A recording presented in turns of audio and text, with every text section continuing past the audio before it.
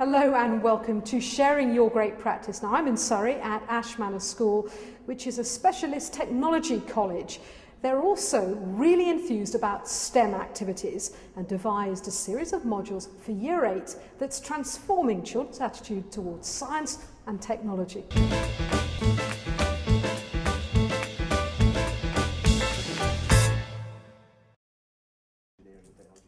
Tom Harris is Key Stage 3 Science Coordinator, who, with his colleagues, has designed a series of engaging, hands on STEM activities that help all of Year 8 take flight with their learning.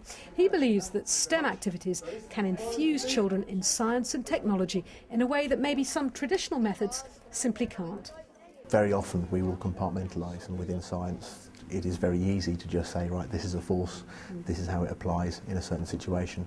But what STEM allows us to do is to actually contextualise the science learning and link it in uh, with a bigger picture, things like technology, engineering and maths. And from that breadth, actually develop something that's more beneficial in terms of their learning and their experience as well. One of the activities is built around designing a model glider that really takes to the air. It doesn't work. Okay? We're looking for you guys to have your designs glide. We've got to basically make an aeroplane that can go further, and what we're supposed to do is um, sort of base it on nature. And making it sure that there, there's um, less weight, but there's um, more stability to make sure it actually travels in a straight line. Um, I think it will go a little way, but I don't think it will go overly far because it's only a prototype. Mathematics, technology, biology, design, and physics are all touched on in this session. There's no preconceived ideas of what they're going to be doing. Um, at no point are we saying, this is where you're at, you will do this. We're saying, look, this is an activity, it's open ended. Rather than thinking it's science, technology, engineering, maths, how can I shoehorn this into an activity? The activity itself goes, right, what, what science can I use? Because there's so much there to actually sort of take from it. And so it, if the activity is right, STEM happens naturally. It's just all the different forces behind it. It's just really mind blowing and interesting. It's kind of like science in like real life, and it's like something that might actually like happen like in the real world. So it's not just loads of books and stuff. One of the most important things about the approach to STEM in this school is the teacher's understanding of the value of learning to cope and to move beyond failure. So if these children's designs don't actually fly, they're just back to the drawing board, thinking exactly what went wrong in their design so that they'll succeed next time.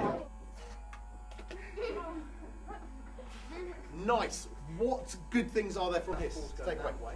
When you give them the confidence to get things wrong, when you say getting things wrong they should be doing, you suddenly create a, an environment where there isn't a negative vibe. They're not they're not fearful of coming forward with their ideas or trying to improve themselves. They realise that you know what, everyone's in this boat together.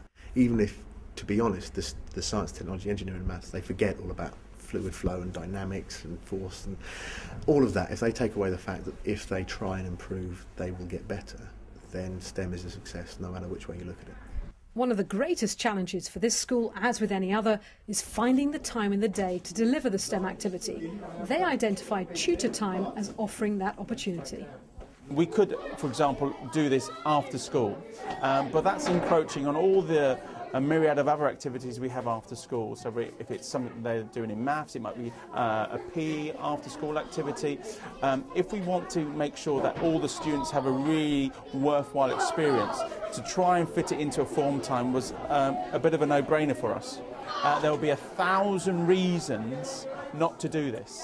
A thousand reasons not to, and I think our little, or my little mantra is um, that's it, perhaps one of the reasons to do it because it is going to be hard, it's going to be challenging, uh, it's going to um, challenge you with timetable issues, it's going to challenge you with time, it's going to challenge your creativity issues, it, and there will be a resource implication.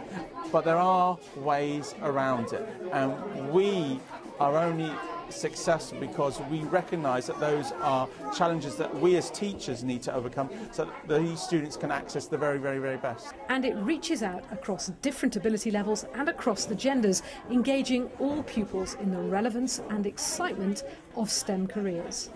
It's taking away the barriers that we tend to erect around sort of different subject areas and saying, right, this is science, and uh, you're a girl, so you'll do biology, and you're a boy, and you'll do physics. And that's a huge generalisation. And I know out there there are fantastic people doing biology, male and female, fantastic people doing uh, physics, male and female. But there is always the the stigma attached to certain situations. We will always challenge those gender stereotypes uh, and we will say we want female engineers to come in. We want to make sure that uh, everyone sees as a potential route path for them that they might not necessarily have been able to see from before. So we sometimes positively discriminate on that basis.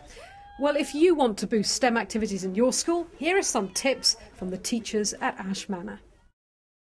Finding the time is a challenge, but look carefully at your timetable and see if you can identify something, such as tutor time, where this can be slotted in. Find the activity that you think will engage the pupils and then work out the STEM subjects within it rather than the other way around.